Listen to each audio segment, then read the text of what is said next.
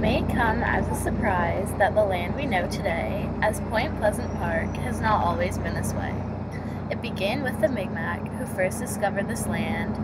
Every inch belonged to them, from the branches to the sand. It was a place for many warriors whose murdered bodies were found, to be at peace and harmony while resting in the soils of the ground. The given name Amutaki to the grave which holds these men was a site to pray and remember. It was a spirit place back then. They would also host events in May, after the first new moon, they would gather for the spring feast, but this would come to an end soon. In the year of 1749, Edward Cornwallis weighed anchor offshore, a young British settler who had ripped the land of its core. He was given orders by the British, whose government he had to please, to wipe out the nature of the park and tear down all the trees.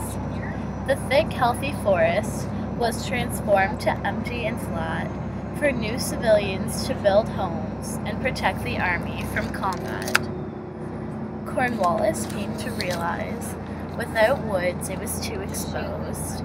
The wind and the weather made it uncomfortable and cold.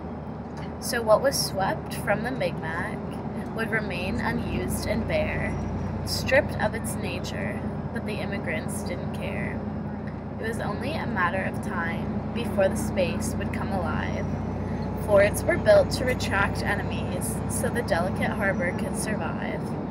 With all the damage done to the land from disturbing the roots and soil, it continued to grow as it once did, for its beauty would not be spoiled. It would eventually be abandoned before the 21st century came, and although the forts still remain, it would never be the same.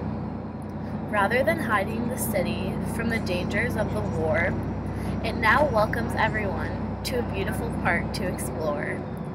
Filled with historical monuments and Shakespeare by the sea, Point Pleasant became a main attraction and a splendid place to be.